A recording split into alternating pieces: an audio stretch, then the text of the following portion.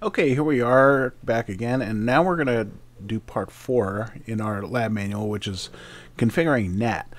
Uh, and uh, I have it listed here as PAT or NAT overload or masquerade because they're really the different names are the same thing, which is port address translation. And that just means that anything that's being translated by R1 out through the default route to the internet is going to appear uh, as different ports on R1's uh, outside address. But before we do that, uh, there actually was a way for me to check whether or not we were getting uh, default route propagation in the internet before NAT. Now, we're not going to be able to ping anything, but what we can do, if you look down here at router 2, we're going to try and ping a random address. And that's going to fail because we have no way uh, really to translate out to the internet or back. However,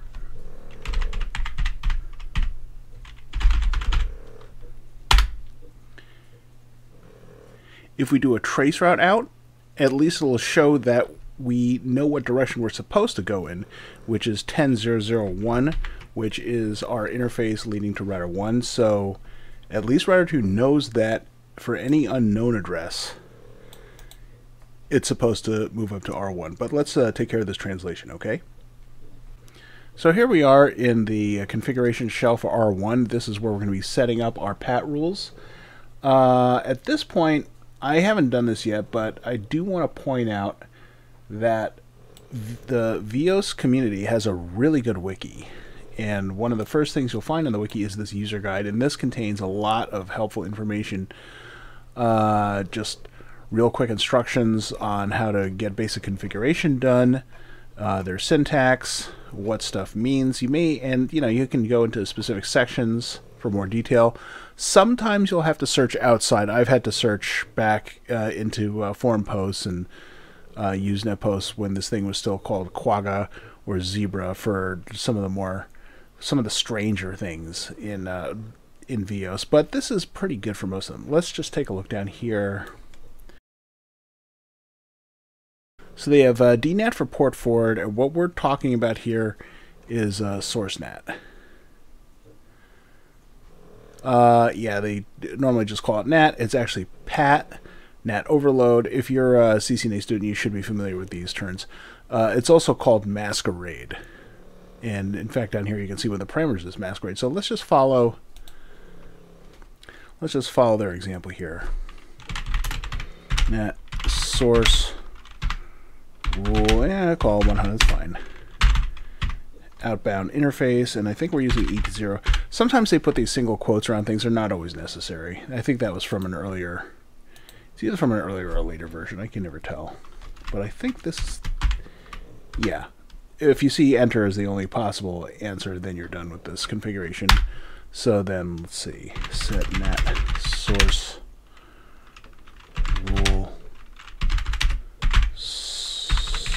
address. Uh, let's take care of our client domains first, then we'll actually put in the our domains. Actually, let's do this one first. Nat uh, set nat source rule. God, uh, 100 translation address, and you actually have to spell out masquerade here. If you try to do a partial, it, it'll it'll assume that you're typing a domain name or something, so you actually actually type out masquerade or tab complete. That's fine. Okay, now let's go and add our source addresses. So at this point in the video, I'm just speeding up, I'm adding every single source subnet to rule 100, but this is going to be a mistake, and you'll see why uh, as soon as I stop doing this. It's quite frustrating.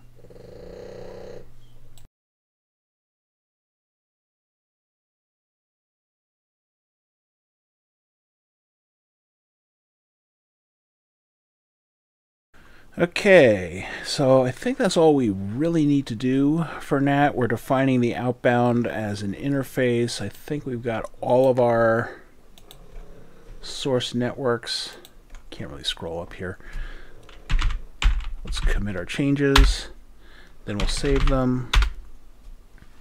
Okay, Now, let's test this.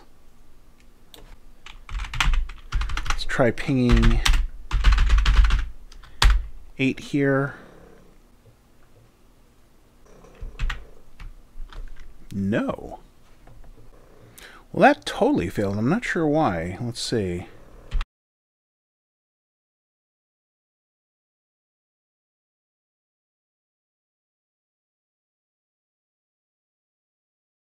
Okay, I see my error now. Uh, the problem is that each rule only covers a single subnet, which is, I guess, why they use ranges. So, that's not a big deal. Let's just go fix this.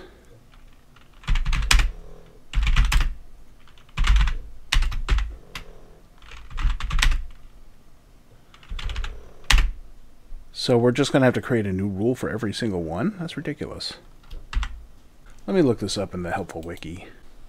Okay, my NAT implementation failed, and I couldn't find anything real specific on this uh, in their wiki, but they don't really mention anywhere, uh, aside from using a supernet, multiple networks. So I'm going to assume the problem is that I can only use one uh, one subnet for every rule statement. Like here, they have their sample rules 192.168.0024. They don't really have any other source addresses which is pretty annoying. But I'm going to assume that's how they have it set up, and I'll configure appropriately, and I'll just see if it works.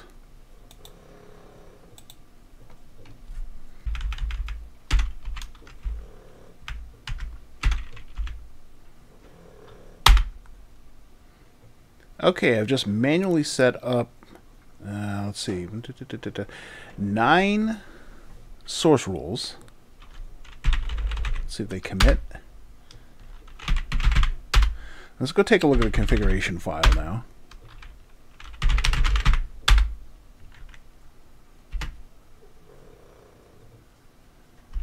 Yeah, you see, this is a, there must be a better way to do this. Uh, I'm going to go look for a better way to do this. Uh, but for now, let's just see if this works.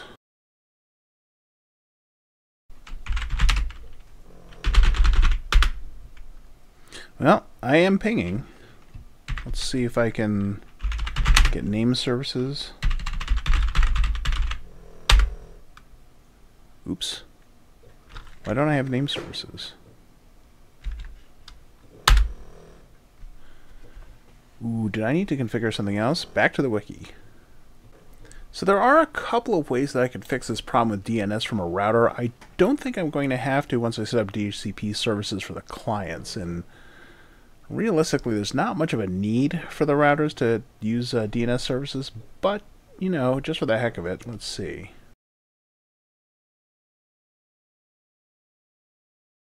Let's see if we can set up a DNS forwarder here.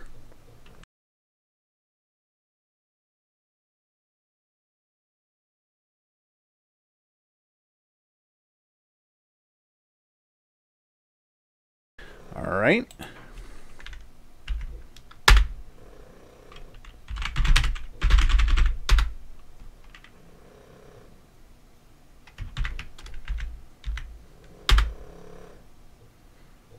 No.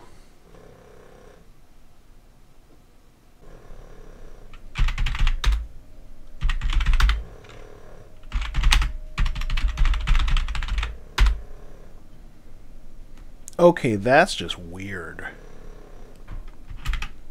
So I thought that the way that the documentation was set up, it's not super clear. Maybe I'm just misunderstanding it. But there's a service that you maybe saw me futzing around with called uh, Set Service DNS uh, Forwarder, and I had that set up on R1, saying that all DNS requests can go to 8888, and I'll feed them back, and I'm going to listen for requests on these two interfaces. Uh, and then I tried to ping a name from R2, and that failed even though I thought that, well, R1 is going to get that request. So instead, and this doesn't make any sense, there must be a better way to do this. Maybe I'm just not understanding the command, but so on R2 I set up forwarding DNS name services to 8888.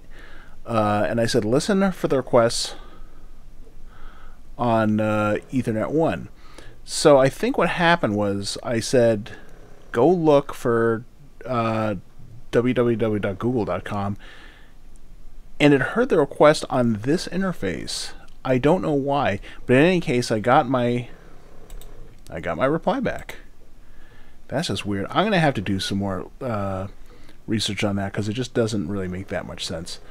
So NAT, oh, I have to make sure that NAT uh, should be working. Oh, you see here, if I have NAT working, I was able to ping a numerical address from R2 and R3. I just couldn't get the name services, so that's pretty strange. I'll have to do some more digging into that. Anyway, the NAT translation worked, and we can test that by capturing up here.